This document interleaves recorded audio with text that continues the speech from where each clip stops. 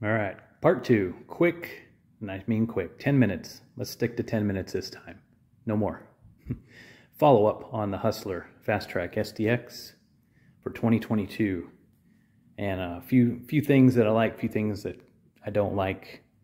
But overall, she's a keeper so far. So far. All right, what did I have to do? I had to make a couple more tweaks.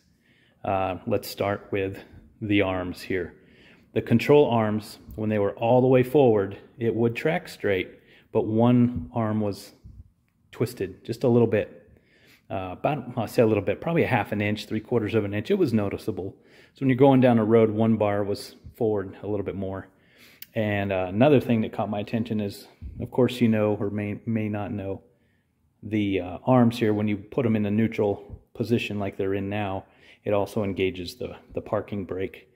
And when it was in that position, this one right here, there's there's about, I don't know, 16th of an inch of slop down there, right? So when it was back in this position, it was starting to engage the reverse hydro. It wasn't moving or anything, but you could hear it putting strain, just just a little, little, little bit, little bit. So I went underneath, tweaked the linkage on the hydro, and then of course came up here and adjusted the stops. You take, I forget what size, 5 eighths or something nut, and then there you use a, a T-handle or Allen wrench, and then adjust the bolt to stop this from moving forward. So I've got it all the way up. One of them was not all the way up, so the, the linkage was kind of messed up. So I adjusted this on both sides, so now you can fit about a, a credit card in there, about a credit card's worth of gap. Both of them are forward like that, and uh, no more noise when you go into neutral. And they both they it tracks goes straight and it seems like it gained maybe another mile an hour speed. I don't know. The butt dyno tells me it's a full 10 miles an hour now. Anyways minor minor detail but something with me and my ocd caught and had to had to make that adjustment or else you know you won't sleep at night. What else? Oh previously i mentioned that these were quarter of an inch these suckers are 3 eighths inch thick. And I mean, the deck is, there's there's a mixed bag of 11 gauge and 7 gauge and, you know, reinforcement. And the, the deck here, the front reinforcement here is solid. So I don't foresee there being any issues with this deck. It's a real solid deck. Um, minor modifications, as you can tell, I removed the pulley covers. Uh, a couple little rubberized little wing nut doodads that hold those in place and also removed this bolt here in case you ever need to access or remove or lift this panel to get underneath for whatever reason like a belt jumps or something and you don't have tools with you just pull that bolt out now. This thing is not going to go anywhere and it's a solid panel. So actually you can take one of those little wing nuts from the pulley cover take the bolt out flip it around come in through the bottom and then screw that wing nut on so you can have a little handle if you want all right, what else? Um, seems to be about it. I'm really digging the, I, I love the Kawasaki engine, the FX691 Donaldson filter. I did pull the filter out, inspect it. I always wipe down the canister. I mean, sure, there's a little dust from the factory or whatever, but that's just me. And I reset the filter into the proper position. A lot of people don't know that inside of these filters, there's there's three little notches on the filter, and there's three little notches inside here. It's not critical. Don't lose sleep over it. Don't even pull it out to inspect it if it's dirty. You can do more damage by removing this filter, by looking around inside, allowing dirt to get in. Leave it alone. But next time, it, uh, line up those three notches inside. It just lets it see a little, you know, 16th of an inch more. Not a big deal. Some guys fight with these end caps, putting them on and stuff. They should just go right on loosely and snap very easily. Yeah, I put a filter minder in here. I got one of these John Queer, what do you call it, filter minders. Last time I went into the John Deere dealership down the road, that whole story why I won't buy a John Deere. Thought about buying one, what, last year.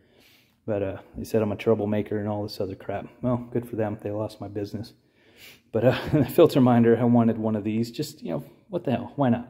So I put that on there. We'll see if it works. Worth the shit. There's the muffler down there. One thing I don't like I mentioned at the beginning of this video to let you guys know. There's a muffler, there's a carburetor. Now there is a heat shield, half of one built into the top of this muffler. I wish they just had another metal heat shield up in there that would separate some of that radiant heat coming up. It would hit the shield and, and blow off the sides instead of soaking into that muffler right there. Yeah, the metal pan's going to get warm, but that muffler's a lot more surface area, a lot more metal, and that just that just stays hot all the time. And that's that's going to be a great heater, but not for the carb. Some guys were having problems starting these things after uh, after they're warm or hot, trying to start it back up, and it wouldn't start up right away. And I wonder if that's an issue there. Uh, fuel filter, there's one down there. Know it's hard to see. But then there's also one right there. I'm like, what the hell is that? I saw it in a previous video. I didn't I didn't know what it was, but that's a breather filter. Because you remember previous video, there's a switch there, and I've got dual tanks. Uh, dual, also dual reservoirs. We'll get there in a second. But dual fuel tanks, and it requires a little breather. So they put a, a little cheap filter, fuel filter, and there's a hole in this, this frame right here, and it just sticks right in and drips out the bottom. If there's any condensation or whatever, and keeps crap from getting up inside. Thought that was cute. But yeah, still, like I said, previous video, got dual reservoirs for the ZT3400s, and I love that. And other than that, man, this thing is, uh, it's rocking. I like the tires. I like the ride. The suspension seat's nice. Uh, if you guys see online, eBay, Amazon, this little orange handle from Track Seats, don't buy it. It is not the same. I'm telling you now, it is not the same suspension seat. That thing's a joke and they're a pain in the ass to deal with. Anyways, this this one is, is a decent suspension seat and the one with the dial's a little bit better, but I don't think it's $1,200 better. So let me open this up real quick and glance down inside. Get a nice little overview. While it's still shiny and new, um, plenty of room in here. can get to the hydros, batteries right there, full-size battery decent wire looms. I mean, I think in my previous video I mentioned, um, let me see if I can adjust here. This little bar here, the silver, it says Excel on it. Um, there's one over here on each side. Whenever you move these arms, that is adjusting the linkage on this arm and it goes back to that spring right over here just above the fan and that's how the parking gate uh, parking brake is engaged on both sides so it's pretty cute. And then there's also uh, dampers in there to control the movement of these arms. Uh, the Scag was just as smooth, uh, or I should say the Hustler is as smooth as the Scag. I really like them. There's a lot of zero turns that got some wompy friggin' control arms. Bobcat, um, I almost said Big Dog. It's not Big Dog. It's it's the other one. The other the other dog. What's it called? Bad Boy. Yeah. Okay. Those things are crap. I just I just don't like them. There's like too many too many knobs and stuff, and you and you just you twist this arm and the friggin' thing's I don't know. That's if you if you like that, great, but that's not for me. These suckers are solid. So I also adjusted the height, and you can adjust the angle of them here. So like I said before, these things are a dead nut straight. Adjust the tracking, it's everything's dialed in now. So 1.6 hours, that's just me driving around, breaking stuff in, parking it, looking for leaks, you know, checking everything out, wiping stuff clean. There's no, so far, so good. No issues, knock on wood. So, uh, yeah, other than that, this thing is freaking, it's stout. I'm probably going to go with a block off plate here if I can find one. I'm not going to go for the full mulch kit, maybe if the price is right, but I don't think I really need it. I just want to keep stuff from shooting out and hitting the windows. Because when, when you put that deflector on the discharge chute cover thing, that thing sticks out like a foot and a half. It's, it's giant. But uh, so far, so good. One other thing, looking at this spring, that's a good size spring there. Of course, you need it for the deck lift. Uh, these are supposed to be little cast. I don't know about these. I might put chains on there. I don't, if I have issues with those, yeah, I'll swap them out. But mentioning the springs on the back, there's next to the idler pulley, there's a, a tensioner with a spring on it right underneath the bottom.